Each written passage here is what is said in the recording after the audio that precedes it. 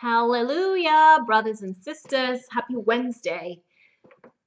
I'd like to share this message with you today because the Lord literally rebuked me this morning. And part of me making these videos isn't just to teach or to give testimonies regarding you know things that the lord has done for me i also want to share my journey with you because sometimes I fail, sometimes I fall, and I think that it's important as believers to be able to encourage one another, even with sharing stories that may not necessarily be perfect, because there's nothing that's really perfect. And um, it's vitally important for me to be real with you guys because I know that just like any one of you, I think you, we all go through the same thing in life. We're not always perfect, even though we try and our hearts are in the right place. Now, for a few days, I've been having this mountain that I've, you know, decided to have faith that God would move that mountain for me. And yesterday, I got into a situation tangentially related to this specific mountain. And this situation involved a couple of people, but I'm not going to get into the specifics because I don't love naming and shaming. But basically, that situation left me feeling angry. And uh, the angrier I got, the more thoughts I thought that made me even more angry. And so when I came home, you know, last evening, I just said, you know, Lord, just, I don't want to feel this way. I don't want to continue to feel angry because the more I do, then, you know, I'll feel the resentment creeping up and I don't want to feel resentment towards anybody uh, because that leads to bitterness and unforgiveness and all of that stuff. Then I went right before bed, read my Bible as I always do, and I was reading from First Kings, which is where I am right now in my Bible study.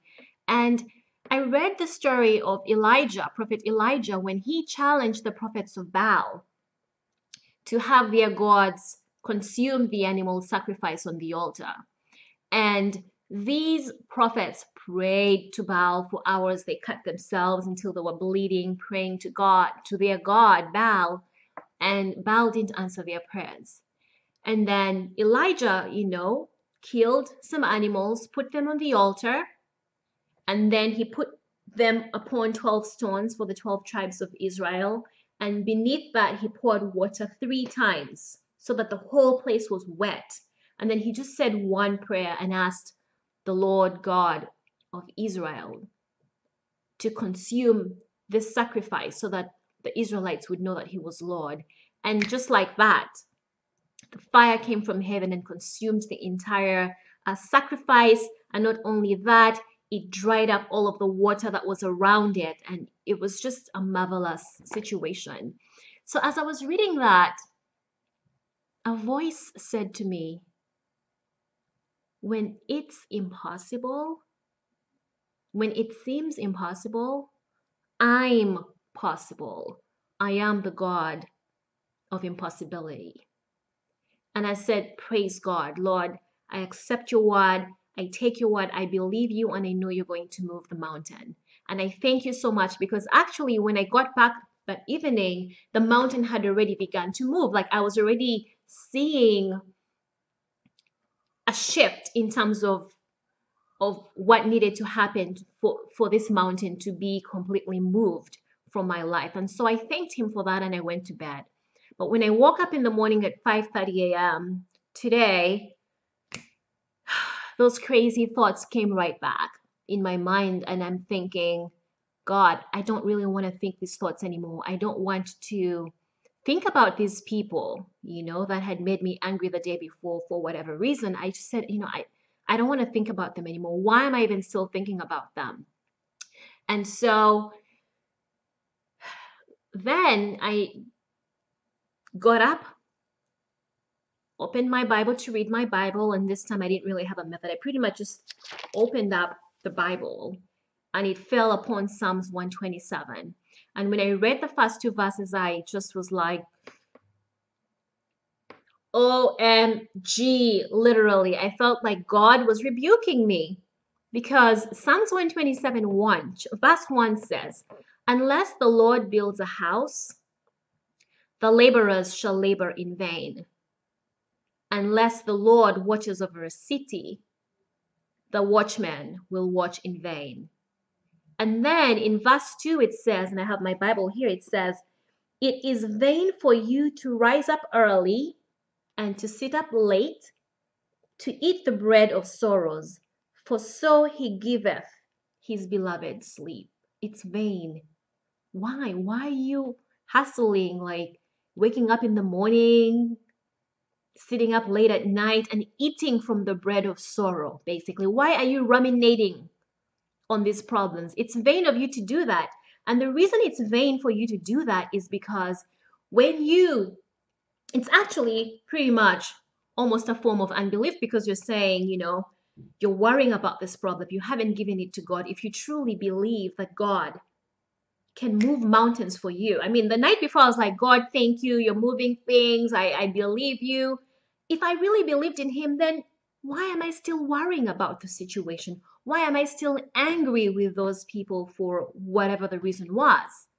See? So the Holy Spirit exposed this in me.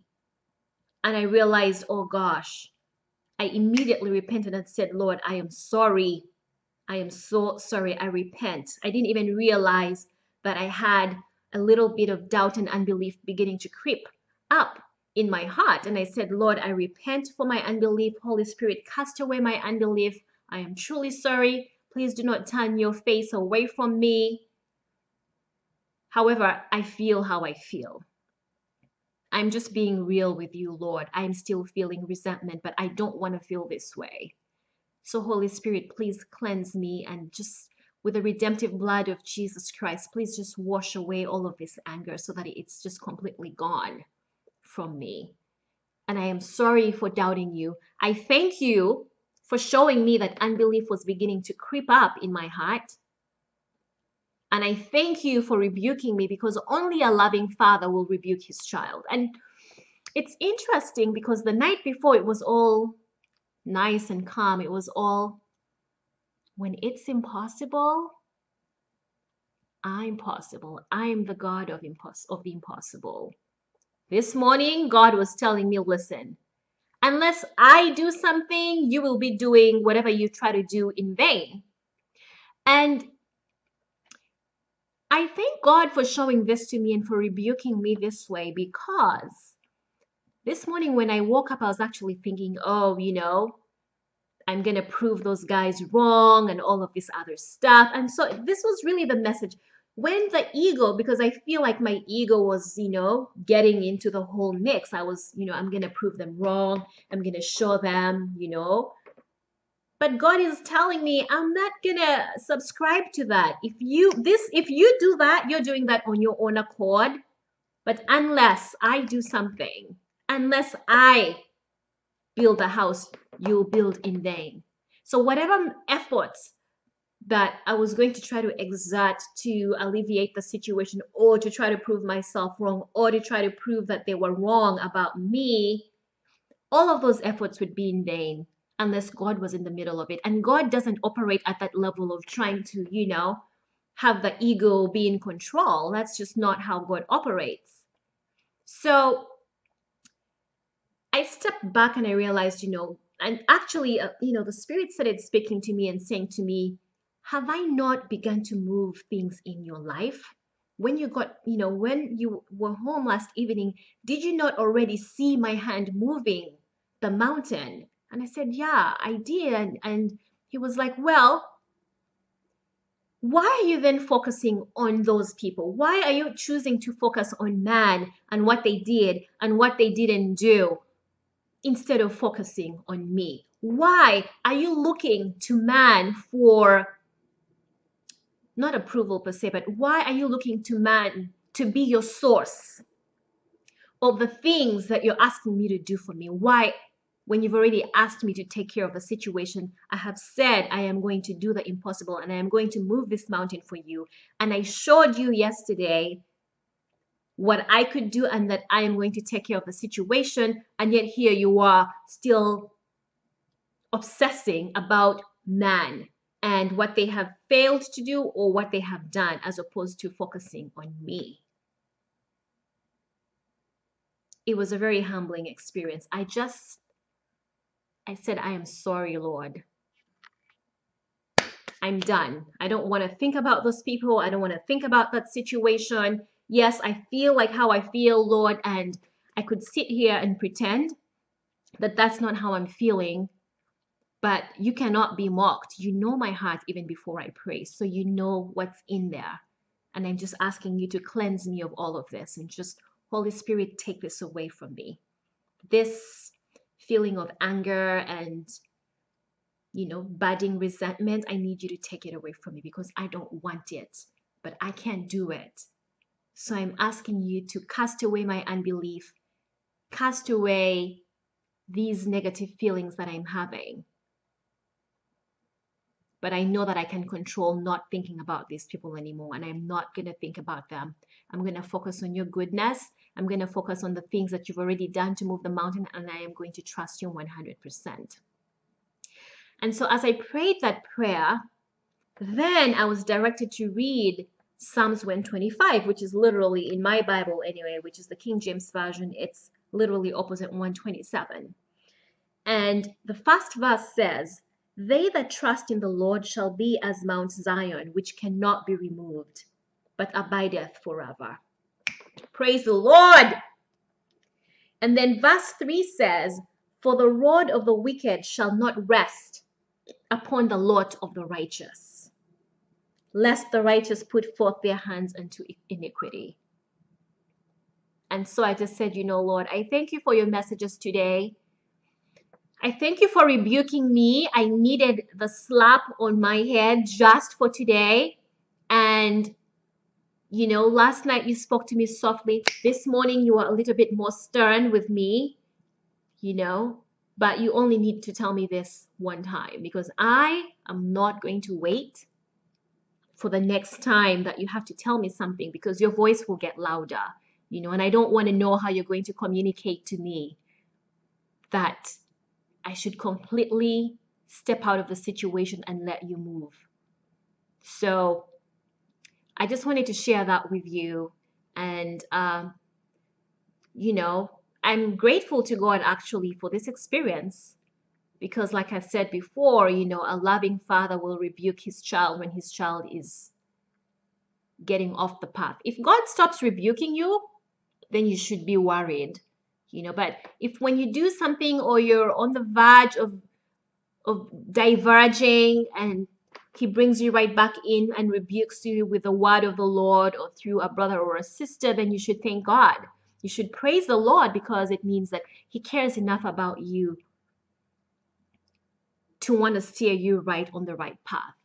And so I just wanted to share that testimony with you, and I hope that you'll be encouraged that when you decide that you want God to take care of a situation, you need to stop trying to be involved. When the Lord tells you He's going to do something, then don't try to help Him accomplish what he said he's going to do because you know he's not going to walk in that and your efforts are going to be futile because unless he builds the house unless his hand is upon that same situation all of your efforts are going to be in vain unless he decides to watch over the city they that watch shall forever be watching with no fruit yielding whatsoever. So stay stay steadfast in the Lord and listen to his voice when he rebukes you and just, you know, for me I basically repented on the spot. I said I'm sorry. You know, and it's interesting, it's now a couple of hours, I don't know, it's like four o'clock right now. Right? That was about seven in the morning. And I haven't even given these guys one thought after that. I haven't thought about the situation. I haven't, and my anger and my resentment is gone. And I praise the Lord so much for that. So stay blessed, and um, I'll talk to you another time. Take care. Bye.